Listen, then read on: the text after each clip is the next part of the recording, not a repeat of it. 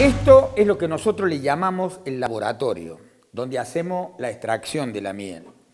Nosotros traemos los panales en estas condiciones, fíjate, la miel madura, está todo sellado, tapado este, con cera, esto significa que tiene menos del 18% de humedad. Y aquí es donde le quitamos la capita de cera.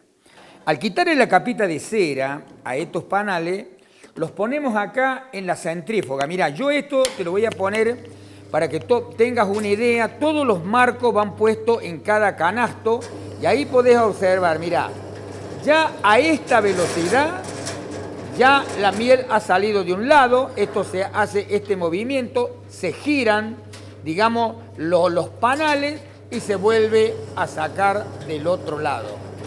Ya con esta velocidad, al estar la miel, líquida, digamos, está blanda, sale.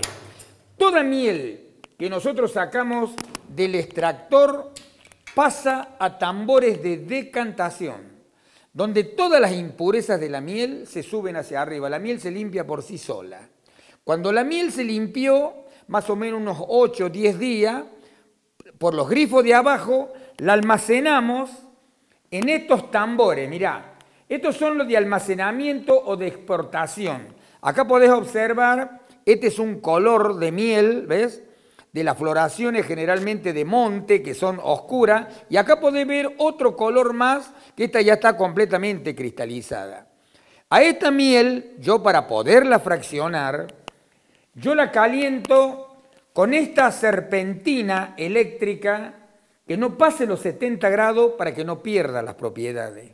Cuando la miel está blandita, yo aquí en forma artesanal la voy fraccionando y acá podés observar los distintos colores que todo esto, como les decía, lo da la floración. Bueno, acá podés observar los distintos colores que tiene la miel. Tanto el color y el sabor de la miel, todo depende de la floración donde trabaja la abeja. Nosotros, los apicultores, sabemos decir que está la miel de hierba y la miel de yuyo. Hay mieles que tienen más minerales que otros, hay mieles que son más medicinales y todo eso depende del lugar donde trabaja la abeja. Uno de los diagnósticos de la pureza de la miel es cuando endurece. Generalmente las de color claro endurecen mucho más rápido que las de color oscuro, pero toda miel pura se azucara. Te voy a decir también que lo bueno de la miel es la enzima de la abeja.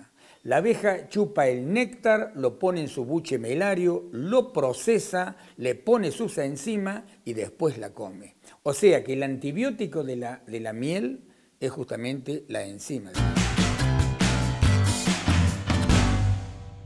Jerárquicos Salud. Asociate llamando al 0800-555-4844. Jerárquicos Salud. Más de 20 años brindando servicios de salud.